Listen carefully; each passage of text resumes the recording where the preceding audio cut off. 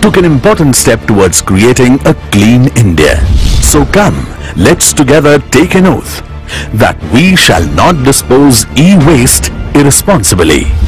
We will work towards its scientific disposal so that same e-waste can be reduced, reused and recycled. So now all you have to do is just collect your e-waste and bring it to your nearest e-waste collection center. They will deliver them to their right destination. Guys आज जो हमने जो video देखा ना मुझे कुछ नहीं समझा। बस एक वीडियो था ई वेस्ट के बारे में। इट वॉज़ लाइक जैसे ई वेस्ट को कैसे डिस्पोज करना चाहिए कलेक्ट करना चाहिए और प्रॉपर जगह पे डिस्पोज करना चाहिए क्योंकि वो पल्यूट करता है। हम लोग भारत के नागरिक हैं तो हमें स्वच्छता अभियान के लिए कुछ करना चाहिए। पर ई वेस्ट मतलब क्या? लेट मी एक्सप्लेन जो भी इलेक्ट्रॉनिक गैजेट्स हमारे घर पे हो जैसे mobile phones cameras speakers which is basically trash and you throw it away so it is hazardous to the environment इसे ई वेस्ट कहते हैं। भारत सुंदर हो या ना मैं तो कचरा नहीं उठाऊँगा। हम लोग ई वेस्ट पे कर सकते हैं। पर करेंगे क्या? मेरे घर पे बहुत ई वेस्ट है। हम उसे कलेक्ट कर सकते हैं। हाँ मैं अपने फ्रेंड्स और रिलेटिव से ई वेस्ट ला सकता हूँ। लेकिन ये लाएँगे कैसे? और उसका करेंगे क्या?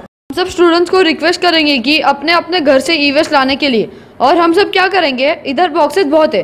वो हर एक कॉरिडोर में रखेंगे और सब स्टूडेंट्स को बोलेंगे अपने घर के ई वेस्ट उधर डालने के लिए। लेकिन ये सब करेगा कौन? डाल दो भंगार में। पर हम उसे भंगार में भी तो नहीं डाल सकते क्योंकि उसमें क्रोमियम लेड ये सब टॉक्सिक पोल्यूटेंट्स होते हैं। आइडिया तो अच्छा है तो हम लोग जल्दी से टीचर से परमिशन ले लेंगे और उसे एग्जीक्यूट कर लेंगे।